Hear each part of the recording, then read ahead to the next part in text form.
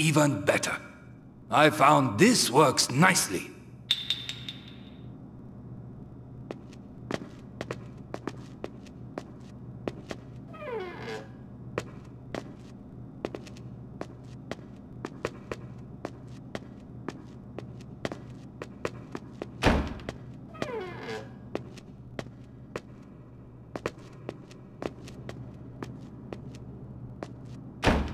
Follow me on this one.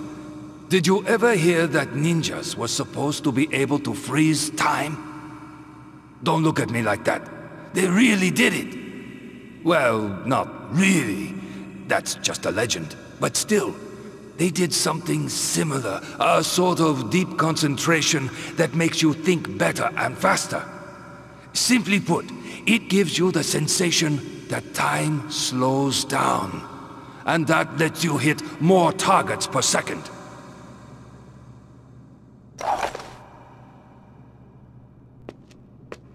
Come on. Take a deep breath and try.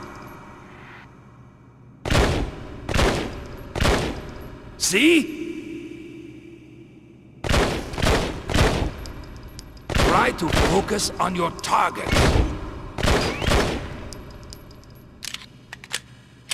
See?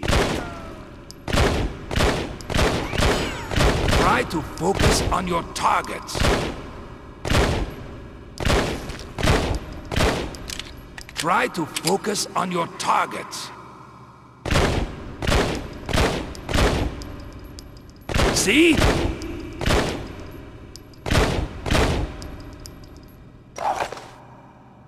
Try to focus on your targets. Come on. Take a deep breath and try.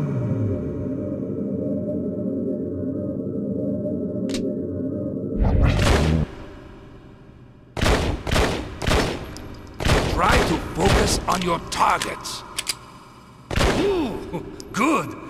You'd better give up the sword and use my technique, don't you think? Now, there's one more useful thing for you to learn. See, if you succeed in disarming your enemies with that technique, they will surrender. But if you don't wave at them to make sure they drop their guns, they will start right back up. Let me show you. Fumi! He is a coward, but a useful one. Hey, Fumi! Aim your broom at us as if it were a machine gun.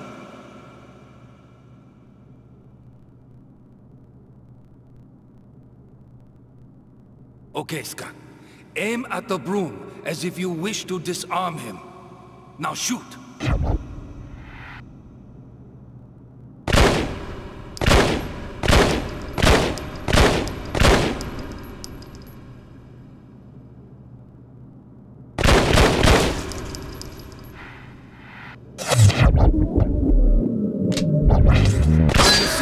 When your enemy is like this, wave at him to surrender with a movement of your wrist. Do it quickly though, otherwise they'll try again and you'll have to disarm them once more.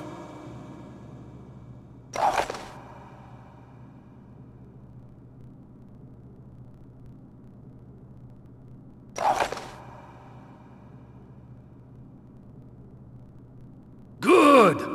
Oh, uh, last but not least, when you spot the leader among a group of opponents, target him first. If he falls, his men will be so confused that they'll all surrender as well. Yakuza obedience. Useful, eh? In the other room, you'll find my humble firearm collection. You are free to pick out any